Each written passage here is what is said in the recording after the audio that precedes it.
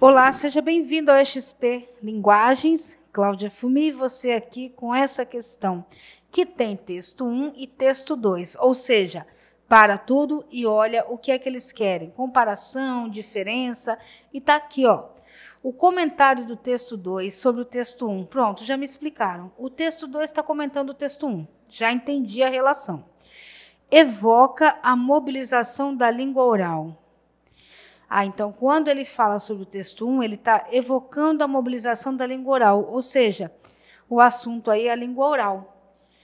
E ele diz que em determinados contextos, ou seja, para a gente fazer essa questão aqui, a gente está pegando essa palavrinha que, que retoma a língua oral, e está transformando em sujeito desses verbos aqui. Para ficar mais fácil para mim, eu vou pegar aqui a língua oral. E vou escrever aqui, ó. A língua oral assegura, a língua oral mantém, a língua oral conserva, a língua oral preserva a língua oral reforça. Pronto, já não preciso mais disso daqui. Então, o que, que eu vou fazer? Eu vou ler o texto 1, analisar o comentário, saber que isso aqui vai ficar muito mais fácil. Terezinha de Jesus, de uma queda, foi ao chão.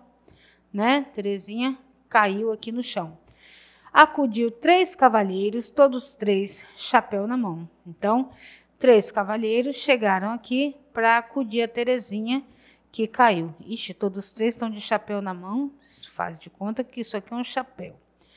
O primeiro foi seu pai, o segundo, seu irmão. O terceiro foi aquele a quem Teresa deu a mão, ou seja, se tornou depois o marido. Então, pai primeiro, o irmão depois, o marido em terceiro lugar.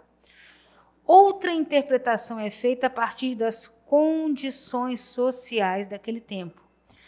Para a ama e para a criança, para quem cantava a cantiga, a música falava do casamento como um destino natural na vida da mulher. Então, olha, qual é o primeiro homem da vida da mulher? O pai. O segundo, o irmão. E o terceiro, o marido. A sociedade brasileira do século XIX era marcada pelo patriarcalismo. A música prepara a moça para o seu destino não apenas inexorável, mas desejável, o casamento, estabelecendo uma hierarquia de obediência pai, irmão mais velho e marido, de acordo com a época e circunstâncias de sua vida. Então eu já sei. Primeiro, eu sei que a língua oral é porque tem uma criancinha ali, né, uma garotinha ali que está com a ama e a ama tá feliz da vida ali com ela, né? Cantando para ela, cuidando dela e cantando. O canto, a música, a ciranda aí, é o que?